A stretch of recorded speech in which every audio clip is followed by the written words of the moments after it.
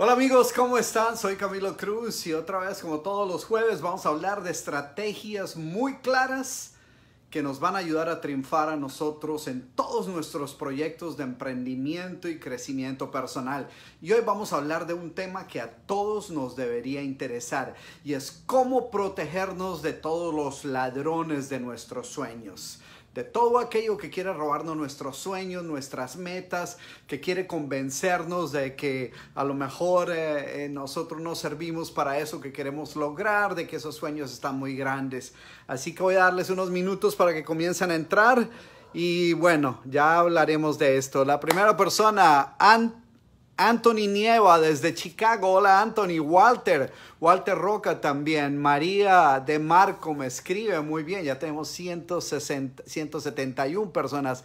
Nancy Soler, como siempre, allá desde Yopal, Casanare, allá en Colombia. Nancy, un abrazo muy grande para ti. Siempre está conectada ahí. Eh, Félix, eh, Pablo me dice hola. Eh, Marisela Castillo me escribe. César Guzmán desde Sinaloa, hermosa tierra que también he visitado varias veces. Edgarín me dice, fantástico desde Guatemala, desde Tijuana también me escriben. Liz, desde Reno, Nevada, Lisbeth. Eh, Dora me escribe desde Pamplona, España. Eh, Marlene me escribe de, no, me dice desde dónde. Celina también. Edgar, hola Edgar, ¿cómo estás? Fantástico, pues bueno. Bueno, yo sé que este tema hoy les va a encantar a todos. Si no les va a encantar, debería encantarles. Debería ser de importancia para todos ustedes, porque si hay algo que, que yo he encontrado, es que hay tantos sueños como ladrones de sueños. Hay tantos sueños, tantos, tantas metas, tantos logros, tantos anhelos como personas y cosas dispuestas a robarte de esos sueños, a robarte la idea de perseguir tus sueños y perseguir tus metas. Así que hoy vamos a hablar de eso. Eh, voy a seguir saludando a algunas personas que están entrando. Eh, eh, María del Socorro Hernández me escribe desde Oaxaca. Eh, Xiomeni desde Bucaramanga. Víctor desde Perú. Muy bien, Jacqueline desde Chile. Hola Jacqueline, un beso grande para ti. Eh, María Mercedes, Elvis Raúl me escribe desde Lima, Perú. Sofía Alvarado desde Chicago, aquí en Estados Unidos. También eh, eh, Carrie me escribe desde California. Pilar Acosta, Pilar, mi prima allá desde desde Fusagasugá en Colombia. Qué bueno estar conectado contigo y qué bueno estar conectado con tantas personas que quieren triunfar. Así que bueno, vamos a entrar en materia. Sabes que muchas veces me preguntan, eh, muchas personas me dicen, Camilo, ¿qué puedo hacer eh, eh, para asegurarme que logro mis sueños, que protejo, que logro proteger mis sueños de, personas que la verdad sin proponérselo a veces me desaniman y, y, no me dejan concentrarme en lograr las metas que me he propuesto alcanzar. Y es muy común escuchar esto y es muy común experimentar esto. De hecho, quiero hacerte una pregunta. ¿Cuántos de ustedes, quiero que me mandes una carita feliz para identificarla rápidamente? Si alguna vez tú has tenido una meta, un objetivo, un sueño grande que quieres alcanzar y siempre te encuentras con alguien que te quiere robar ese sueño, que te quiere convencer que ese sueño no es para ti, que no estás preparado, que es una locura, que es mejor que te dediques a otra cosa a, ver, ¿cuántas caritas felices quiero ver de personas que han enfrentado esa situación? De tener un sueño, de tener una meta, de estar comprometidos con ella y sin embargo tener personas a tu alrededor que te lo quieren robar, que te quieren robar ese sueño. Bueno, está ese desfile de caritas felices de, por todos los lados. ¿Por qué? Porque a todos nos sucede, a todos nos sucede. Ahora, lo interesante es esto, que muchas veces esas personas que te están tratando de robar tus sueños no son, no son tus enemigos, no son personas que tú las veas venir y tienen, eh, eh, se les ve de lejos que son enemigos, que te odian, que te quieren herir, que te quieren maltratar. Muchas veces las personas, las personas que te quieren robar tus sueños, son personas cercanas a ti. Y de hecho, no es que ellos se hayan propuesto robarte tus sueños. Lo que pasa es que muchas veces, como no son los sueños de ellos, sino son los tuyos, ellos creen que te están haciendo un favor diciéndote, sabes que ese sueño está demasiado grande. Eh, sabes, yo no te quiero ver a ti herido y frustrado, entonces de antemano te voy a dar un consejo.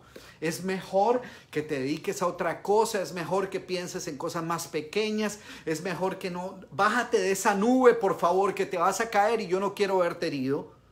Entonces, fíjate, quiero que tengas en cuenta que muchas veces los ladrones de tus sueños están bien cerca a ti y te quieren y te aman y te están robando el sueño muchas veces por buenas intenciones, pero tú no puedes permitir eso.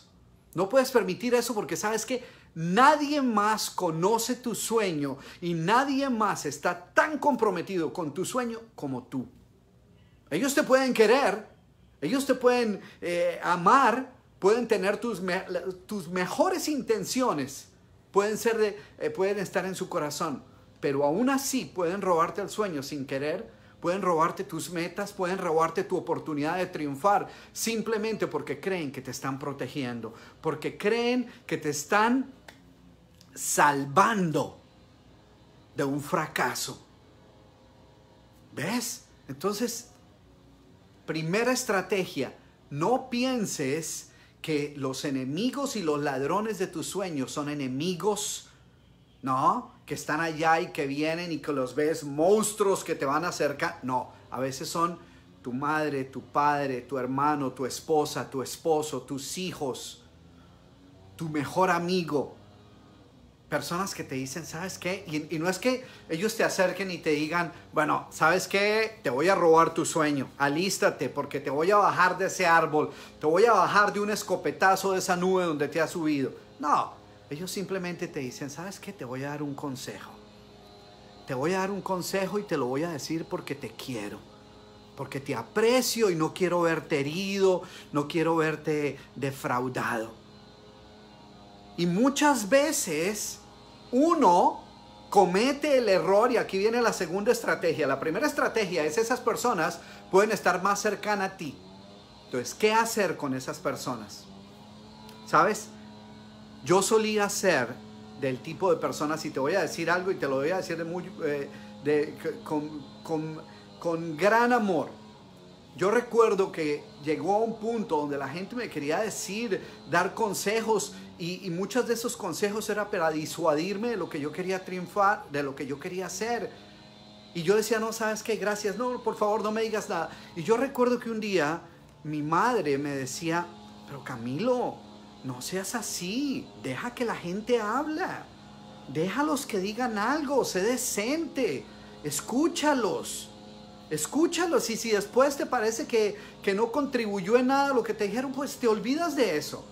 Y yo solía ser muy paciente y escuchar todas sus advertencias y todo lo que me iban a decir y todo lo que ellos creían que, que me iba a suceder a mí mal y cómo iba a perder yo hasta la camisa y todos los horrores que me narraban, los escuchaba con paciencia. Pero ¿sabes cuál es el problema? Descubrí yo con el tiempo que es muy difícil olvidarlos, que se quedan ahí en tu cabeza haciéndote ruido. Y entonces, si enfrentas una caída, un fracaso, como seguramente, como es posible que enfrentes en tu camino hacia el éxito, porque en el camino hacia el éxito no todos son logros y triunfos, a veces te caes, a veces te resbalas, a veces te caes y te das duro. Y justo en esos momentos comienzan las voces allá. De todo lo que escuchaste a decir, ves, yo te lo dije, yo te lo advertí, yo te dije que te iba a quedar grande, yo te dije que tú no servías para eso. Entonces, ¿sabes qué decidí yo? Cuando alguien me va a dar un consejo, yo los paro y les digo, mira, yo te agradezco mucho, sé que tienes buenas intenciones, pero quiero hacerte unas preguntas antes de que ese consejo, de, que me des ese consejo que me quieres dar. Primero, ese consejo que me vas a dar, me lo vas a dar por experiencia propia, porque tienes conocimiento de causa. O sea, si yo voy a empezar un sueño y alguien me dice, no, Camilo, voy, perdón, voy a empezar un negocio y alguien me dice, Camilo, te voy a dar un consejo. Y esa persona nunca en su vida ha hecho un negocio. ¿Qué, qué tipo de consejo me puede, me puede dar? Entonces, si la persona no tiene experiencia, gracias, pero no. Porque entonces ahora somos dos que no sabemos especulando y haciendo conjeturas. Entonces, lo segundo, si la persona a lo mejor sí tiene experiencia, yo tengo que preguntarle, no le digo, sí, dame tu consejo, sino que le hago una segunda pregunta. Y la segunda pregunta es, oye, déjame hacerte una pregunta. La experiencia que tuviste fue positiva, te ayudó, te sacó adelante. Ahora, si la persona me dice no, yo no quiero escuchar su consejo. No quiero escuchar. Si esa persona me dice es que te voy a hablar de por qué no empezar un negocio, porque yo empecé uno y perdí hasta la camisa, fracasé totalmente, me fui a la bancarrota. ¿Qué consejo me puede dar esa persona? Esa persona me puede decir cómo irse a la bancarrota y fracasar en los negocios, pero ese no es mi interés. Mi interés es cómo triunfar. Entonces esa persona no me puede ayudar. Y finalmente, yo tengo que preguntarle a la persona, oye, ¿tú tienes, eh, tú crees que ese consejo que me, va vas a dar me va a ayudar a mí? me, da, me va a dar más fuerza y más compromiso y más experiencia para salir tras mi sueño. Porque si lo que quieres es, que yo me olvide de ese sueño, pero no me vas a dar otras opciones, mejor no me digas nada. ¿Sí ves? Entonces yo quiero, yo quiero pedirte algo. Yo sé que esto puede sonar un poco duro y como que Camilo, yo no puedo eh, hablarle así a mi amigo o a, o a mi cuñado o a mi hermana. ¿Sabes? Recuerda, lo que está en juego son tus sueños. Tú no puedes permitir que nadie te robe tus sueños. Nadie. Yo no puedo llegar al final de mis días. Imagínate llegando al final de tus días y que alguien te pregunte, eh, oye, ¿por qué, ¿por qué no lograste? ¿Por qué no saliste tras esa meta que siempre tenías? Y tú tengas que decir, no, porque es que resulta que cuando yo quise salir, mi cuñado me convenció de que, de que lo mejor era no hacerlo. Yo pues, por no herir sus sentimientos, lo escuché. ¿Tiene sentido eso? ¿Tendría sentido yo renunciar a mis sueños simplemente por no herir los sentimientos de otra persona? No. Tus sueños son tus sueños. El único que tiene que creer en ellos eres tú. Entonces, primera estrategia, cuídate de las opiniones que escuchas. Cuídate de las opiniones que escuchas y entiende, las personas que te van a robar tus sueños no te van a robar tus sueños porque no te quieran, sino por el contrario, porque creen que te están protegiendo. Entonces, mucho cuidado con eso. Segunda estrategia, hay muchas personas a las que le roba sus sueños por una sencilla razón. Imagínate que, que yo tuviera, qué sé yo, que este fuera mi celular y yo ando por la calle mostrándole a todo el mundo mi celular y diciendo, oye, alguien quiere, mira el celular tan bonito que compré. Y estoy por la calle, una calle que no conozco, a lo mejor en un barrio peligroso, mostrando y diciendo, mira, este, alguien quiere ver este celular. Pues lo más seguro es que me lo roben. Lo más seguro es que yo mismo me puse en peligro. Y eso mismo nos sucede con nuestros sueños. A veces nosotros mismos nos metemos en la boca del lobo. ¿Y sabes cómo lo hacemos? Porque le consultamos a todo el mundo. Hay personas que tienen un sueño, que tienen una meta y entonces van y le consultan al, amigo que no tiene ni idea de, voy a tomar otra vez el, ejemplo del negocio. Y, quieren empezar un negocio, quieren hacer algo y, van y le preguntan al amigo, oye, ¿tú crees que yo sirvo para esto? ¿Tú qué crees? Y después le preguntan a otro, oye, ¿tú crees que yo sí tengo los talentos para hacer un negocio? Y a otro y a otro, porque quieren como, como lograr a ver si logran un consenso. Preste a ver si, si, si logro suficientes votos de confianza. ¿Alguna vez has hecho eso? A ver, mándame, mándame uno de estas manos si alguna vez has caído en el error de que quieres alcanzar algo y comienzas a preguntarle a todo el mundo. Entonces, mándame una de estas manos así, uno, uno de estos, a ver si solo para saber si alguien más o soy yo el único que ha caído en ese error. Ah, bueno, ya veo que otros de ustedes también cometieron el mismo error. A veces cometemos ese error porque, ¿sabes qué?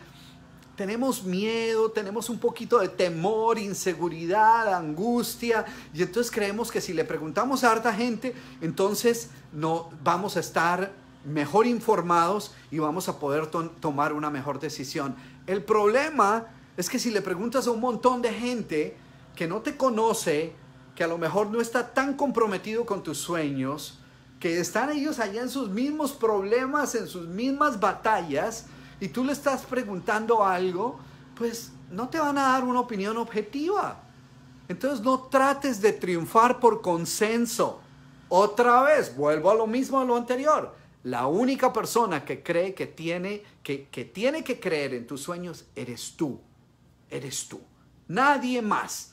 Entonces no te pongas a preguntarle a todo el mundo. No, no, no te pongas a escribir en Facebook. Em, ¿Sabe qué? Es que mm, quiero escribir un libro para todas las personas que me conocen. ¿Cuántos de ustedes creen que yo sí soy capaz de escribir un libro? ¿Qué te va a ayudar? Te va a, te va a escribir un montón de gente que ni siquiera te conoce. Porque tú crees que son tus amigos porque son tus amigos de Facebook, pero no te conocen, no son tus amigos. Entonces, ten mucho cuidado. No te pongas allá a preguntarle a todo el mundo, a contarle a todo el mundo. Simplemente asegúrate que consultas las opiniones de un grupo selecto, una mente maestra. Yo la llamo mi mente maestra y en mi libro, en todos mis libros, eh, en mi libro Arquitectura del Éxito hablo de eso, de que construyas una mente maestra, un, grupo de personas a quienes puedes ir a ayudar. No 100, 200, sino tres o cuatro personas que te conocen, que están persiguiendo sueños, que, que sabes que puedes ir y pedirles una opinión objetiva. Entonces esa es la segunda parte. Lo segundo, no, te, no pongas tus sueños allá para que todo el mundo les, los apague y les eche agua y, te los robe. Y finalmente, el mayor ladrón de tus sueños no son otras personas. ¿Sabes cuál es el mayor ladrón de tus sueños? Los miedos, los temores. El temor es el mayor ladrón de sueños. El temor, el temor a que salgan mal las cosas, el temor a que me equivoque, el temor a que no logre lo que me propuse, el temor a que descubra que esa meta, era demasiado grande para mí. Ahora voy a hacerles una pregunta y como es una pregunta muy sincera y muy de aquí, quiero que me mandes un corazoncito. Si alguna vez cuando has salido tras un sueño has tenido miedo de que no lo logres, ¿Has sentido miedo? Mándame un corazoncito si alguna vez cuando has salido tras una meta has tenido miedo y, temor de que, oye, ¿y qué tal no lo logre? O siempre has salido, no, yo lo voy a lograr, yo sé que voy a conquistar. O, o te da algo de miedo, te da algo de angustia, algo de temor. Ah, bueno, qué bueno, está lleno de corazones esto. Quiere decir que a todos nos ha pasado. A todos nos ha pasado. Está bien. Si sientes miedo, no importa. Aún así, a pesar del miedo, sal tras sus sueños. El miedo no es una señal de que a lo mejor ese no es tu sueño. El miedo no es una señal que te está enviando Dios, ni el destino, ni el universo para advertirte de que estás a punto de cometer un error. Ese miedo, ese temor, esa angustia, esas maripositas que te dan aquí en el estómago, son simplemente una muestra de que eso que estás persiguiendo es importante. Es importante para ti, o si no, no te daría temor.